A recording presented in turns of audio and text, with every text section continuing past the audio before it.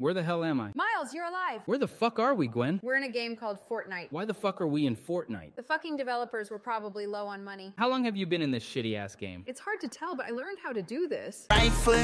What the fuck is that? It's the griddy. I'm doing the fucking griddy. You're literally hitting the griddy. I can also do this.